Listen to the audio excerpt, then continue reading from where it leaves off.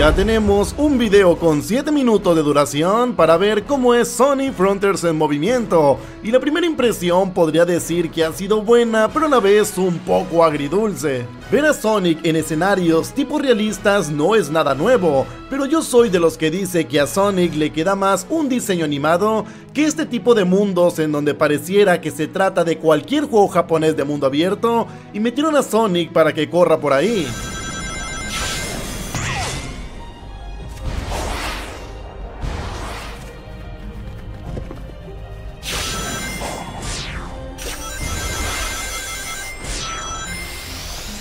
Mi miedo con este mundo abierto era el estar corriendo durante mucho tiempo con Sonic, pero me ha sorprendido que a pesar de que el mapa se ve extenso, siempre hay algo para desplazarte por el mapa rápidamente, ya sean rieles, trampolines o lo que sea.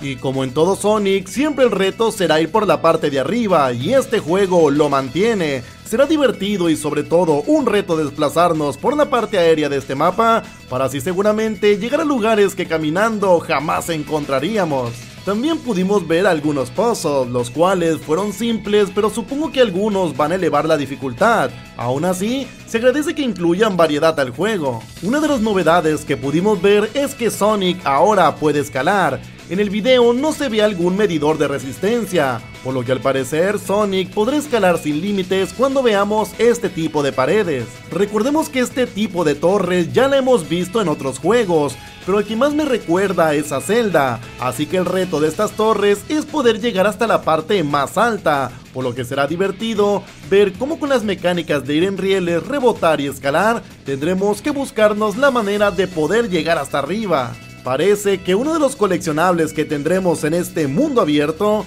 será la de recolectar estas gemas en forma de corazón color rosa para quizá darnos acceso a otros lugares o algo por el estilo, o quizá para activar esta especie de torres que dentro tienen algunas gemas, porque vemos algunas de ellas por todo el mapa, pero se nos presentan como un reto para encontrarlas o alcanzarlas. Al resolver los rompecabezas me di cuenta que nos darán algunos ítems como también se empezarán a ver objetos del mapa que antes no eran visibles, como rieles u otros objetos. Para mí, ¿qué significa todo esto? Que intenta hacer algo como lo que ya hizo Zelda, en donde el mundo al inicio se sentirá muy vacío y conforme vayamos activando todos estos sensores, el mapa se irá completando con nuevos rieles, nuevas plataformas y demás objetos que nos ayuden a desplazarnos rápidamente por el mapa. Y así al final del juego tendremos un mapa totalmente distinto al que cuando inició el juego. Ahora el mapa estaría lleno de rieles, plataformas y todo lo que ya conocemos del mundo de Sonic que nos ayude a recorrer este nuevo mundo abierto de una forma más dinámica, que al principio no se podría hacer igual. Aún no me convence del todo ver un mundo tan solo, en donde sé que aparecerán titanes, pero siento que le falta un poco más de vida a este mundo. Pero bueno, esto solo fueron 7 minutos de gameplay y aún hay mucho que descubrir de este nuevo Sonic Frontiers.